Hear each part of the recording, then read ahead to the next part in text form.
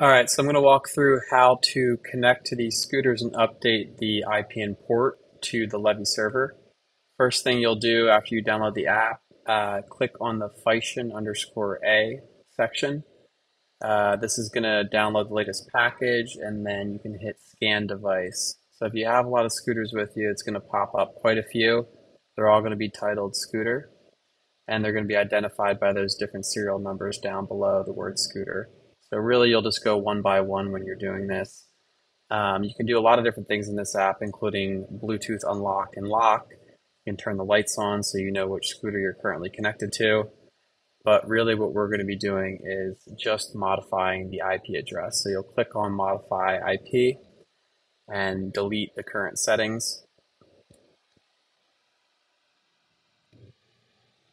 And then you'll enter in our IP address as well as our port. And what this does is it's going to start sending data signals from the scooter directly to our backend server. At that point, you'll be able to start using the Levy app, iOS and Android Levy app, as well as the backend dashboard to communicate to this vehicle. So after you modify the IP and port, you'll see up above in the top data section that those two values are updated. You'll come back, click on the same heading, Physician underscore A, and then you'll select the next scooter in your list. And so we'll do this one by one until the fleet is activated. And then once you're finished this, you can just let our team know, and then we'll finish the rest of the programming on our end.